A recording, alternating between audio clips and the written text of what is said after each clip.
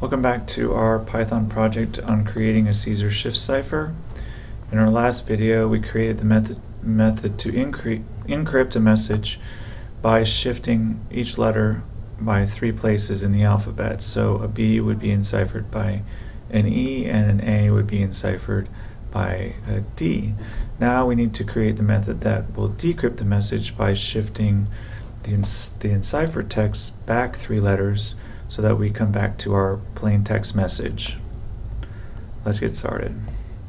So we're going to create a method called def decrypt Caesar shift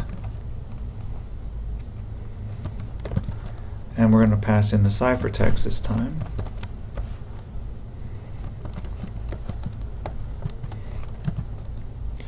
And we will need to create a Caesar, Caesar alphabet. So we'll say C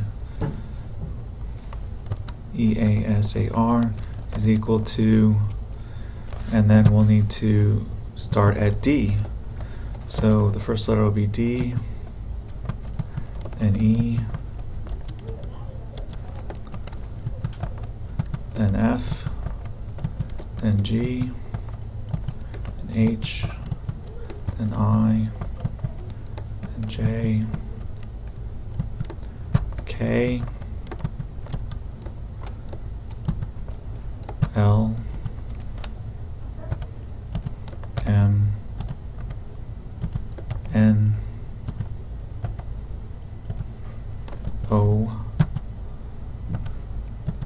P, Q, R,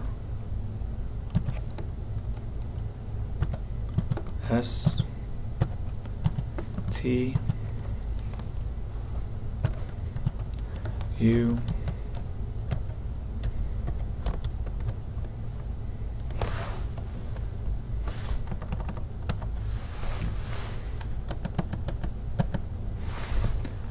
then V, then W, then X, then Y, then Z. Now we can't stop at Z because what we have to do is wrap around to the other side of the alphabet until we get back to D. So we're going to say A, then B, and then C to end our alphabet. Okay, so once we have our Caesar alphabet in, then our shift num is still going to be 3 because we're shifting 3, but we're going backwards. So we're going to subtract the shift num this time to get the old index. Um, so we're going to make a variable called plain text to dump it into.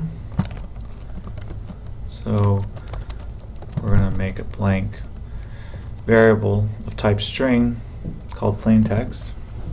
And then for each character in our ciphertext, we want to um, get the index of it out of the cipher, alph cipher alphabet. So we'll say index again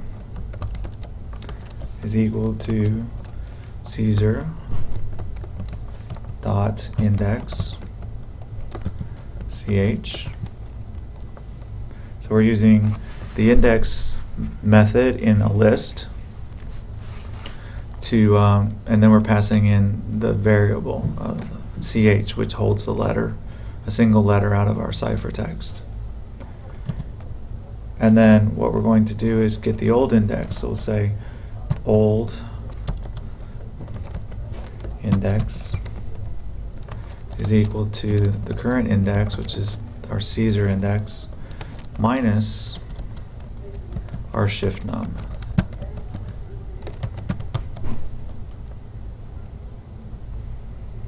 And then we are going to do the same thing above where we said shifted character is equal to alpha um, Caesar bracket and then we're going to use the old index.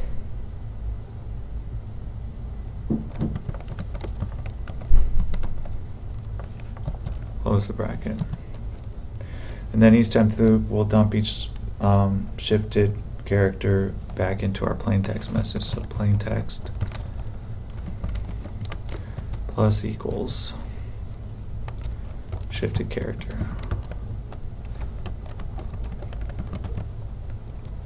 And if we want to test the process like we did above, we can say print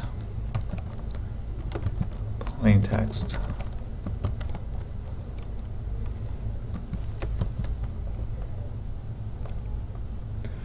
And then when we're done, of course, we'll return the plain text.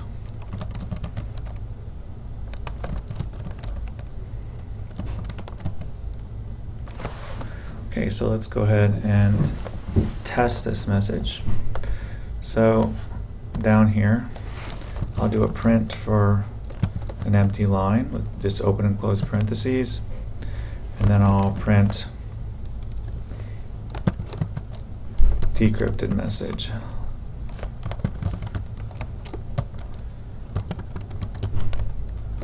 And then I'm going to concatenate that with, oops, close the quotes, and with plain text.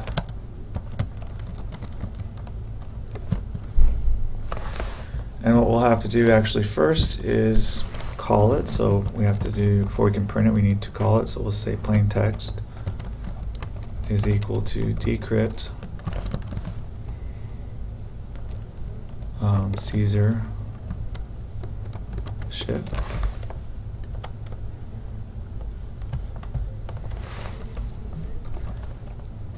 C E A S A R S H I F T and that'll have the ciphertext in it.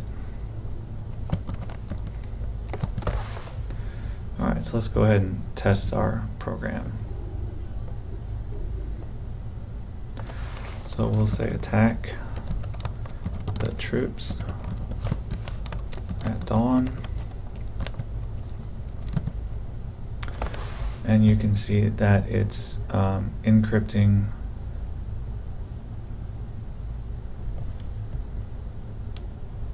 Looks like we have, um, oh, here we go. So our original message was attack the troops at dawn, and then it encrypted it, and then you can see the process leading up to the decrypted message, which is attack the troops at dawn, except for missing spaces, because we took those out in our original message. So it looks like our cipher works. We just need to comment out this print statement, and we'll run it once again.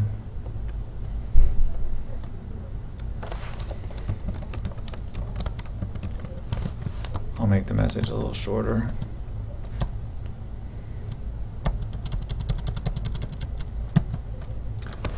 And there we go. We ended up with the original message. So our cipher is usable to encrypt or decrypt messages. And I will see you next time.